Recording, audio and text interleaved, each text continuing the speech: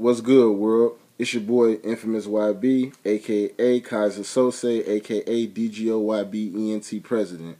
Welcome to another edition of Keep It 100. I'm glad that you guys tuned in for part two. Let's get right into it. Um, the first thing we want to talk about today will have to be the hot song, the song that I got in my iPod that I'm listening to right now. Um, it, it's the Dream Rock. I'm gonna rock your body. You'll hear it at the end because I made a video for it. Um, but that's the hot song for right now that I'm listening to. One of the hot songs, the Dream Rock. Um, you can go get that on. You can go search that on YouTube, iTunes just type it in on Google and it's everything you'll see. So um, that's the hot song. Um, next, we're going to get into Fitted Hat Corner. Got the red and white socks on today. You know what I mean? Boom.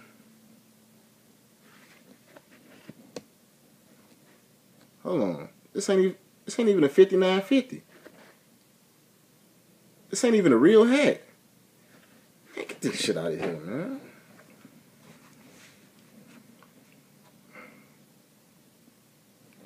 Got that got that New York red, white, and black. Got the Punisher pen on there. I told y'all I do the pens. Feel me? Real 5950. That's all I do over here, you feel me? I don't know how that got over here. I don't know how that got over here.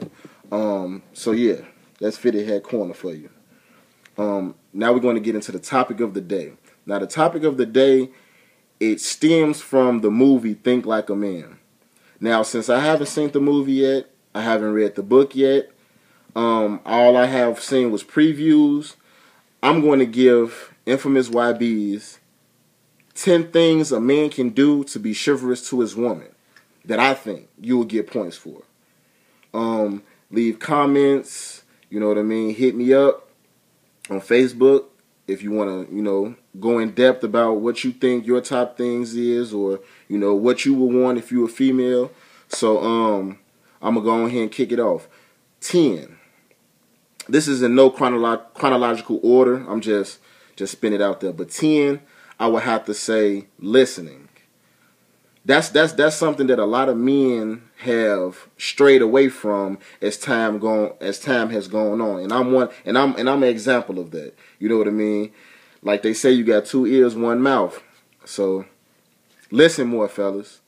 Um nine, I would have to say would be caring. Putting somebody else's feelings ahead of your own. You know, as men, we feel that, you know, we got to be the masculine one. We can only care about ourselves. It's self preservation. And we, we lose sight that, you know, we have a delicate flower, you know, that's in our presence that we don't even water right, you know. So listen. Number eight. Number eight would have to be be truthful. Tell the truth. Tell the truth, man. If they can't take the truth, then apparently they don't need to be with you. You know what I mean? So number seven, number seven would have to be, um, be a man. You know what I mean? Don't be afraid to to own your masculinity.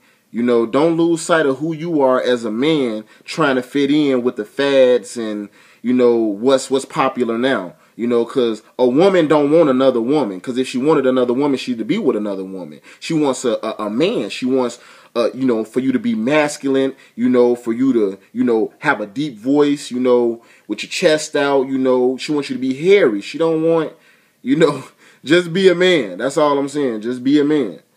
Um, number six. Number six, I would have to be, I would have to say, do the little things. You know, a lot of people, especially once they get married, they lose sight of doing the little things for the next person just to keep things going along. You know, like if I go in the kitchen, give me something to drink, why I can't bring you back something to drink, or at least ask you, do you want something to drink? That's a small thing that means a lot to a person. You know, a person might think you've been being a jackie the whole week, and you do that one thing, and they be like, "Yep, that's why. That's why I married this person. You know, that's why I want to spend the rest of my life with this person." So you never, never knock the small things, because the small things do count. Because if you're looking at a picture, and this picture is made up of a thousand pictures even though you see the big picture, you got to pay attention to them individual pictures, or you're gonna miss the whole thing. Um, Number five, number five, I would have to say, um, spice things up, man.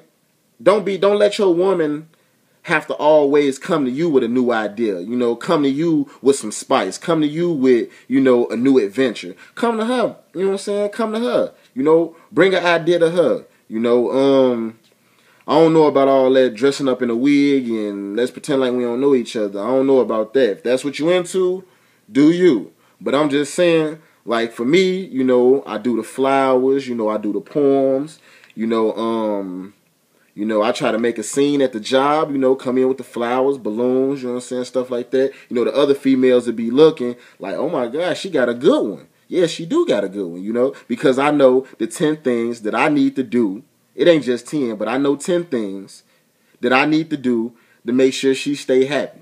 And, and, and in the end, make sure I stay happy. So number four will have to be, um, don't be cheap.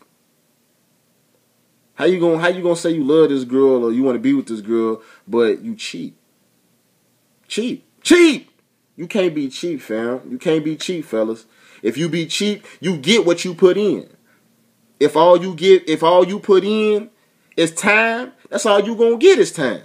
If all you put in is money, then that's all you gonna get is money. If you put time, money, effort, hard work, blood, sweat, tears, if you put everything you got into a relationship, you bound to get everything you want out of it.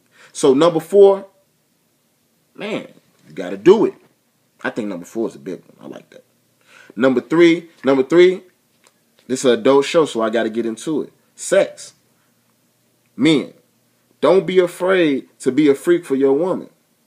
I ain't talking about all that extracurricular activity, but what I am talking about is, you know, have a conversation, have a dialogue with your woman, and find out what she like, what she don't like, you know, what makes her feel good, what gets her motor going, you know. Don't just think it's all about you. Because when it's in, in the end, it will be all about you by yourself. So fellas, you better get your, you better get your game right. Because if you don't, what they say, the next man will. Um, so I'm gonna go on here and say now num- number two. Now number two would have to be. Um, I think this is a pretty big one too. But like I said, my one through ten is in no chronological order. I'm just spitting them out there. But number two, I would have to say would be compliments. I know you like, what? Compliments. Yeah, compliments. Compliment her. Tell her that she looks good. Tell her that, you know, um, that hairstyle looks great on her. Tell her that you like the way she look in those jeans. You know, tell her, tell her, tell her, please tell her. Because women need that reassurance from the man who she loves or you know likes a lot she needs that reassurance that today she feel like she having a bad hair day but you come in and say ooh babe i love that hair I love the way your hair look today, and she gonna be, you know, she, she gonna rock it. You know what I mean? You you never know what what what a quick compliment can do for a woman's self esteem, or for anyone's self esteem for that matter. So number two will have to be compliment your woman. Let her know what you like about her. So she can be like, okay, well, he said my hair, he said my lips, he said my the my, my, my the way I fit in these jeans, he said this, he said that, but he ain't say this, he ain't say this, he ain't say this. I know this is a good attribute, I guess. So why he ain't say that? So she's going to want to, you know, do better. She's going to want to compete with herself for you. So always give compliments, fella. It's, it never hurts unless you just a jerk and your compliments come out as you being sarcastic or you judging somebody then in that case keep your compliments to yourself. Compliment yourself. But um number one number one thing i think that a man should do to be chivalrous to his woman would have to be dream with your woman. You know? Like build with her. Cause a lot of women they get in relationships and they just look at it like, oh well, the sex is good. Um, we have fun when we out in clubs and stuff together, but we can't talk, we can't do this, we can't do that. It's like if you sit back and you just hold your woman at night and just you just talk to her about how you how your day went, how her day went, and then y'all just get to talking about dreams and feelings and what y'all think life should be like in the future and what you want the next 10 years to be like, you will be surprised how much you can find out about your woman if you just talk to her. So I'm not going to say dream, I'm going to say communication. Put it like that communication. Talk to your woman. You know what I mean? I know compliment and talking, you have to talk to compliment, but this is something totally different. I mean, ask her how her day went. Ask her, you know, why your arm like that? And then she go, oh, well, I got a crook right. Well, let me massage that. You know what I mean? Have communication in your relationship because once communication gone, all you have is misunderstandings and bullshit. Excuse my French. But this is another episode of Keep It 100. I'm your host, DGOYB ENT President Dash Infamous YB Dash Kaiser Sose. And all I gotta say is, oh yeah, before I go, I got a few shout outs. I want to shout out Deshaun Dublin. I want to shout out Tanisha J. I want to shout out Nicoya Goodman. I want to shout out King Black.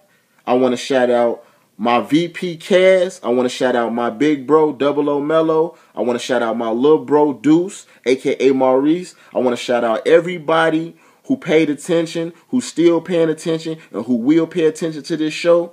I just want to say thank y'all and just continue to come, and I'm going to continue to come up with ideas to make you want to come back.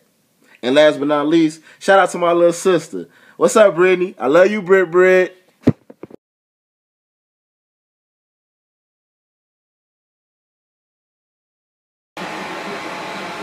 Keep it 100.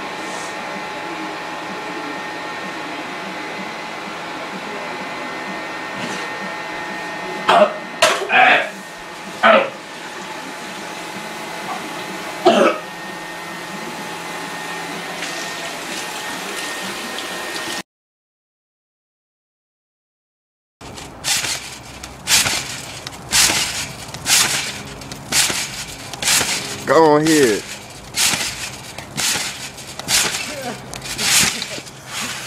And you in keeping it.